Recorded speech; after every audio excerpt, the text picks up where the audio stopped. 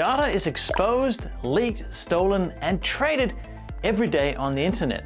Data breaches are now so common, they no longer become headlines but mere side notes. Yet, companies are spending more and more and more on information security every year, which is what the cool kids call the industry, InfoSec. This time, so you want to be a security engineer? In this episode, get a sense of what a cloud security engineer does. What are they really doing? And how exactly do security specialists work on a day-to-day -day basis? Are they really ninjas? When it comes to cloud, what exactly are you securing as a cloud engineer or specialist? At its core, it is to allow the right users access to the right places and disallow everyone else. Why, you ask? Well, security engineers typically build things. They work with technology and tools that help them engineer solutions. They are considered experts in data protection basics such as securing cloud services.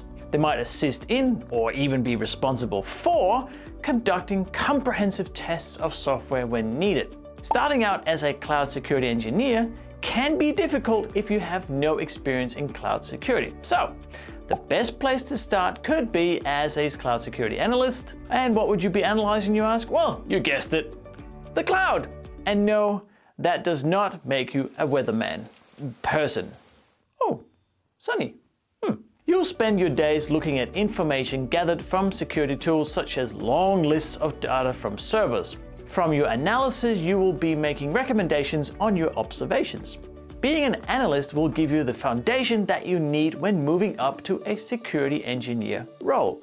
As a security engineer, you would be tasked to keep every bit of data and people's details secure so it's not shared on the dark web making headline news. Technology is known for having strange terms. Floppy disk? There's nothing floppy about it. Bluetooth is named after an ancient Danish king, and an internet cookie is certainly not a gif of a choc chip delight. To be honest, I don't really have any clue either, so here's Elle to explain. I got this. Let me guide you through some of the most common terms you'll come across within cloud security but hold on to your seats because it's going to be a bumpy ride. And your hats. You should hold on to your hats. First off, let's focus on the word security.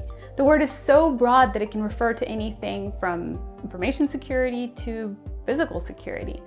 Physical security being those who are in charge of the safety of employees, of facilities, of assets, of basically anything that isn't nailed down, like those hats you're holding on to.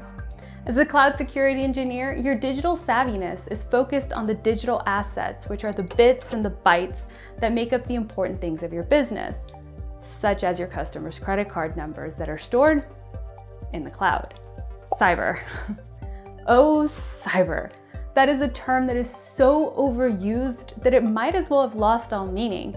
Think about it. We have cybernetics, we've got cybercast, we even have cyberpunks.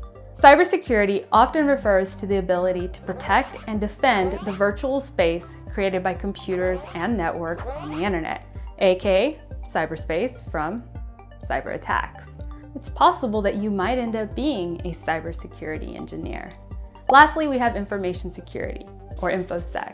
This is the preferred term for many in the cybersecurity industry, in the InfoSec community.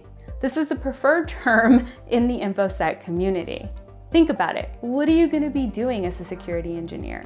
You'd be protecting information stored in the cloud from criminals trying to break in.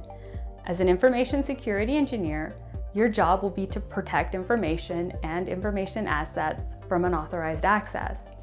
You're going to be keeping the bad guys out. Man, I know it's confusing, but in the end, it doesn't matter. The truth is that there's no hard and fast rule. Now, there are some that have a very strong opinion on the naming, but ultimately, you're responsible for the protection of your company's digital assets and to plan for when a network is breached.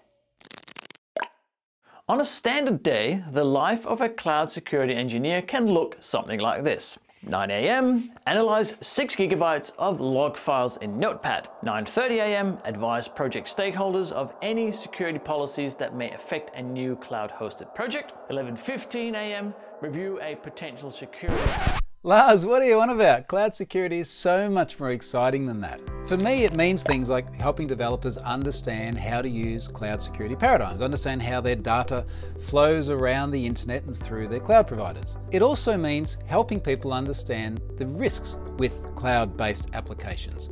All sorts of things can happen in a typical day. I might have a huge amount of data I need to analyze, and I decide to just spin up a massive virtual machine in the cloud that's very, very expensive if I run it for a month, but I just chuck stuff at it and I execute it over the space of an hour or two, turn it off, job done. This is part of my cloud security life. Another typical thing in a day for me is someone reaching out and asking about why their company has just had a massive data breach. I had one the other day where I had to help a company discover that they had actually appeared in a data breach. We found their data all over the web.